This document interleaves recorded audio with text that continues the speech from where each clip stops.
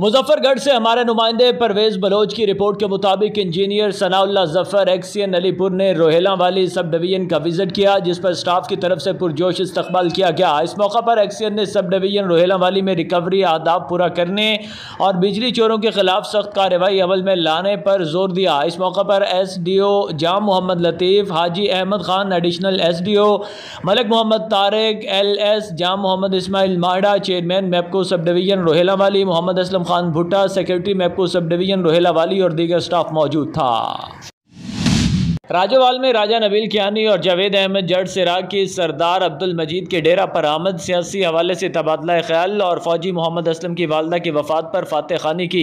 इसमें सरप्रस्त press club राजूवाल, सरदार एहसान इलाही भी इजहार ताज़ियत। इस हवाले से राजा नबील कियानी का कहना था कि पाकिस्तान तहरीक इतिहाद अपने हर वर्कर के दुख सुख में शामिल है और हमारे किसी कारकुन के लिए हम वक्त हाजिर हैं। मुलाकात में इस बात का अदा किया गया कि हम आने वाले वक्त में आवाम के लिए जहेज़ प्रोग्राम लॉन्च कर रही हैं कि जो गुर्बत की वजह से अपनी बच्चियों की शादी नहीं कर सके, उन्हें जहेज़ पैकेज दिया जाएगा। इस हवाले से उन्होंने कहा कि हमें चौधरी औरंगज़ेब की तरफ़ से सख्त हदायात हैं कि जिसकी भी दरख्वास्त जहेज़ के लिए आए, उसे फौरी तौर पर इकदाम उठाए जाएँ और उन पर अमल दरामद यकीनी बनाया जाए।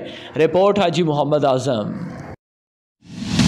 कोड़े सियाल में पेट्रोलिंग पुलिस की कार्रवाई, पेट्रोलिंग पुलिस कोड़े सियाल के एएसआई इफ्तार अहमद की कार्रवाई। एक शख्स से असलहा बरामद। इस हवाले से इफ्तार अहमद एएसआई का कहना था कि जराइम पेशा अफराद किसी रियायत के मुस्तक नहीं, उनके खिलाफ बिला तफरीक कार्रवाइयाँ जारी रहेंगी। हम अपने फ़रज़ को बरोकार लाते हुए अवाम के तहफ़ के लिए अपनी जानों की भी परवाह नहीं करेंगे। इस हवाले से अवामी हल्कों का कहना था कि उनकी तैनाती के दौरान जराइम की शरह कम हुई है। हम उनके असन इकदाम पर उन्हें खराज तहसीन पेश करते हैं और उम्मीद रखते हैं कि वो मज़ीद इकदाम उठाएँगे जिससे आवाम को तहफ़ का एहसास होगा। रिपोर्ट हाजी आसम पाकपतन पुलिस ने सोशल मीडिया के इस्तेमाल पर वालदेन की डांट डबट से दिल बर्दाश्ता होकर घर छोड़ने वाले मेडिकल की तालबा और उसके छोटे भाई को 48 घंटों में जदीद टेक्नोलॉजी की मदद से दरिया रावी की बेल्ट से बरामद कर लिया। पाकपतन से देखते हैं हाफज मोहम्मद अनवार की ये रिपोर्ट। पाकपतन पुलिस ने घर से लापता होने वाले बहन भाई को 48 घंटों में बरामद कर लिया।